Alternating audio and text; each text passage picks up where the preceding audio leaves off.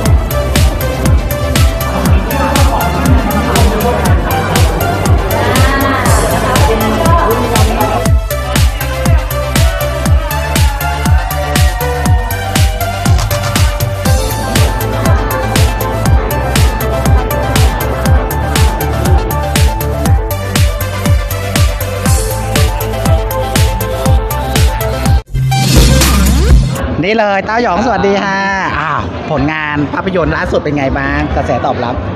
ก็ก็ถือว่าดีมากครับผมเพราะว่าก็มีพี่ๆทุกคนก็มา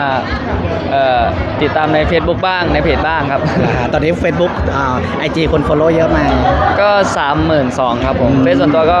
น่าจะแสนนิดๆครับผม แล้วผลงานต่อไปนะครับมีอะไรบ้าง ก็จะมีถ่าย MV ครับผมไม่รู้ว่า ในเดือนนี้แต่ไม่รู้วันไหนครับผมอ้าวพูดถึงความรักก่อนนะจะถึงวาเลนไทน์แล้ว ให้อาฝากถึงเยาวชนเรื่องความรัก